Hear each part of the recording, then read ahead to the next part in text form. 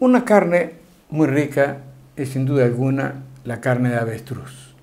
Pero pocos productores se han dedicado en nuestro país a esto, pero hay gente que sigue trabajando y mucho y muy bien en nuestro país. El señor Javier Franco nos cuenta cómo hace que en la unidad productiva de Pirayú, donde cría diversos tipos de aves, pero también hace cría de avestruz. Bueno, muy buenos días. Estamos en la granja del Acuario San Lorenzo, en la compañía Cerro Verá de la ciudad de Pirayú, correspondiente al departamento de Paraguarí. Eh, este es una, granja de, de, 15 hectáreas más o menos que tenemos, que habíamos adquirido en el año 2000 más o menos. Y siempre me gustó el tema de cría de los animales, de, de criatura prácticamente crié distintos tipos de animales y tenemos bastante experiencia en la cría de conejos, codornices y distintas otras aves. Es un hobby que con el tiempo se volvió negocio. Gracias a ello, eh, a trabajar con los animales y por la constancia, pudimos obtener muchísimos logros. Acá tenemos una, una granja, una unidad de producción donde estamos criando gallinas de prácticamente como 40 variedades más o menos de las gallinas ornamentales. Aparte de eso también estamos criando faisanes, pavos reales, pavos comunes, gansos, guineas. Tenemos de todo un poco, ¿verdad? Que inclusive estamos teniendo también los avestruces africanos que habíamos adquirido de la granja Buni. El señor Javier Franco destacó que la cría de avestruces, su faena y aprovechamiento pueden ser interesantes económicamente hablando. Y la carne del avestruz es muy apreciado a nivel mundial, ¿verdad? En el extranjero y los precios que tienen son muy interesantes. Lastimosamente eh, son pocos los que se dedican a la cría de esto.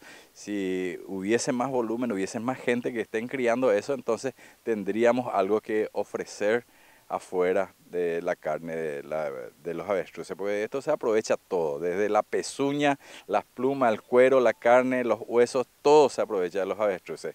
Inclusive en algún momento tuvimos alguna visita de gentes del Japón que ellos querían que en nuestro país se les produzca el tema de avestruces, pero eh, como no, no había mucha gente que estaban en el rubro, entonces parece que se fue apagando el interés que fueron teniendo. Si una persona muestra interés en la cría de avestruces, ¿qué le recomendaría?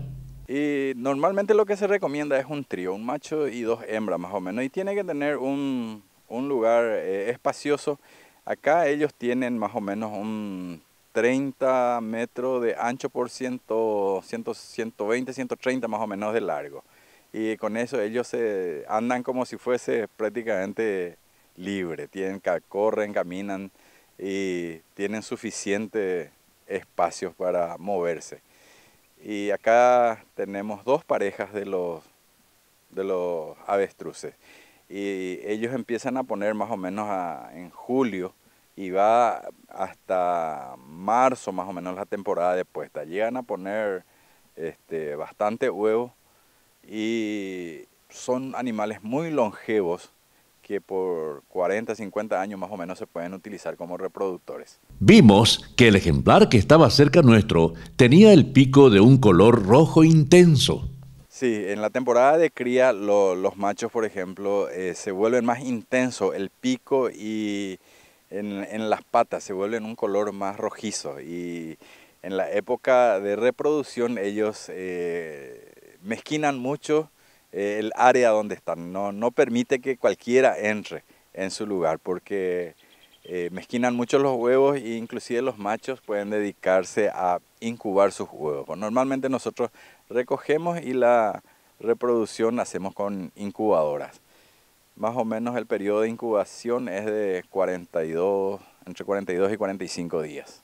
Se recomienda dejar que ellos incuben sus huevos ¿O es mejor sacarlos del nido y hacer que las crías nazcan en incubadoras artificiales? Realmente nosotros hacemos la, cría por medio de incubadoras. Cuando nacen le tenemos aparte, ¿verdad? Porque son muy delicados hasta los tres meses más o menos. Una vez pasados los tres meses ya son mucho más resistentes, ya no tienen mayormente problemas.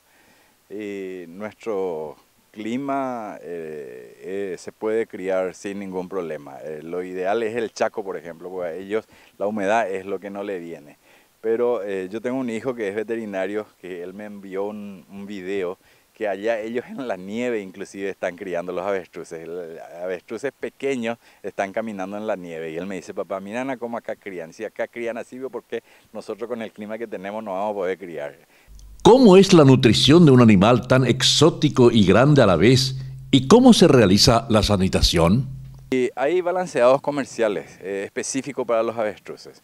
Ellos se alimentan de, los verdes, de los pastos y aparte de eso se le complementa con un balanceado que consumen más o menos entre un kilo, un kilo y medio más menos dependiendo de la temporada. Se le puede sanitar directamente, hay este, productos inyectables que se le puede poner y, también en el agua se le pueden dar eh, cuestiones antiparasitarios y normalmente son animales muy resistentes, eh, mayormente una vez pasado la etapa de tres meses ya son mucho más resistentes. Lo que se hace de tanto en tanto es una desparasitación. Quedamos sorprendidos con una danza del avestruz.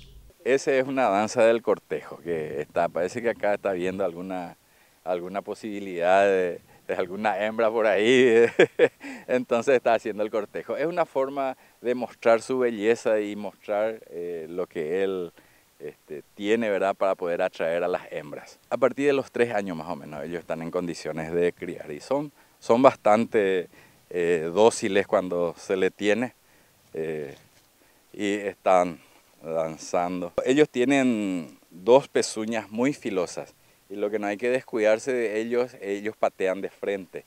Y en esta temporada ellos no, no, no quieren que la gente se, se acerque a sus piquetes porque eh, es seguro que hay huevos, entonces eh, mezquinan ellos eso.